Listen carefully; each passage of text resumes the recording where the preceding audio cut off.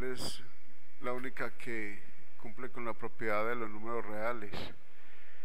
Entonces vemos muy bien de que la i nos va a cumplir puesto que eso equivale a tener a b sobre c más c sobre b por c y al simplificar me quedaría a bc más cancelaría la c y 1 sobre b que es diferente que es diferente a lo que tenemos acá. Entonces se descarta esta opción. El lado sí si vamos a simplificar si vamos a simplificar sería a sobre b más d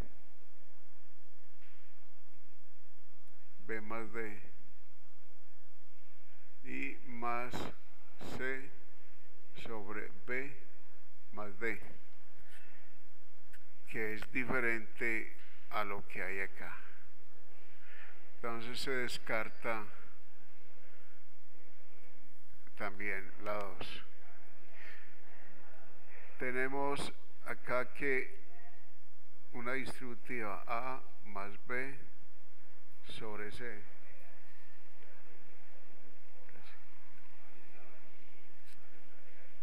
y esto va a ser igual a tener a a sobre c más b sobre c.